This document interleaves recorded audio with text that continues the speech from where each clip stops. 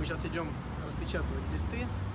Это нам нужно для того, чтобы наш а, человек пошел в иммиграционный лагерь а, с полным набором документов. Для чего это нужно? Для того, чтобы если вам суд будет назначен в иммиграционном лагере, чтобы вам его не переносили, чтобы у вас были а, все формы, которые необходимы для суда.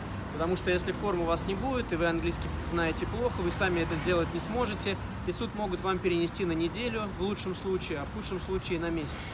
И этот месяц вы будете находиться в лагере. Казалось бы, да, элементарная штука, пустяк. А от этого пустяка зависит фактически вся ваша иммиграция через иммиграционный лагерь. Идем распечатывать бумагу. То есть все это мы берем с собой, здесь мы распечатываем. Цена вопроса 1 песо за лист. А, мы переводим формы. Эти формы нужно будет взять с собой в иммиграционный лагерь и вообще взять с собой в США, они пригодятся вам везде.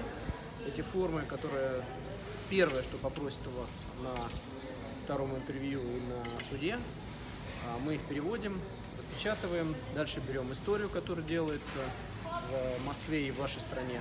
Она также распечатывается, доказательная база и так далее.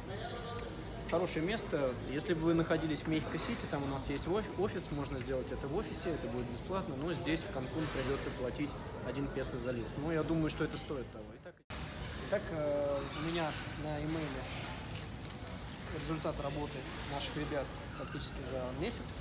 Сейчас я ввожу имейл, который тут написан, отправляю этот документ в этот офис, и они мне распечатывают.